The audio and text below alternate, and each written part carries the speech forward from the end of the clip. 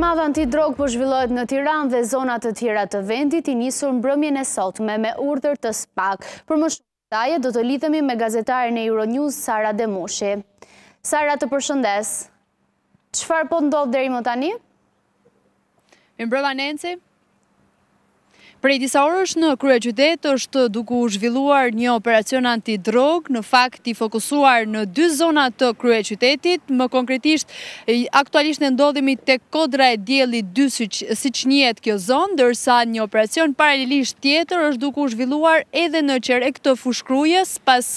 hetimeve të cilat janë zhvilluar prej disa muajsh dhe operacioni është nën drejtimin e spak në bashkëpunim edhe me autoritetet spanjolle, të cilat bëhet fjalë pikërisht për dy laboratore droge, më konkretisht laboratorë kokaine, në cilat në fakt janë gjetur edhe substanca të cilat përzihej lënda narkotike. Të paktën deri në këto momente është bërë i mundur shoqërimi i disa personave dhe janë ekzekutuar disa urdhër arreste, ndërkohë deri në këto momente policia Nuk ka dhënë më shumë detaje dhe nuk ka asnjë reagim zyrtar sa i përket këtij operacioni, ndoshta në vijim do të jetë ose Policia e Shtetit apo edhe spak, i cili do të japë më shumë detaje sa i përket këtij hetimi disa mujor dhe pikërisht ekzekutimit dhe sekuestrimit të sasive të konsiderueshme, bëhet me dije të paktën që janë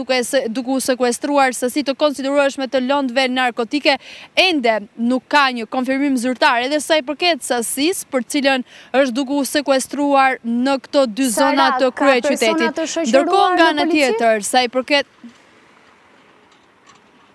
Siç e thashë edhe pak më herët, bëhet fjalë për disa persona, të paktën deri në këto momente janë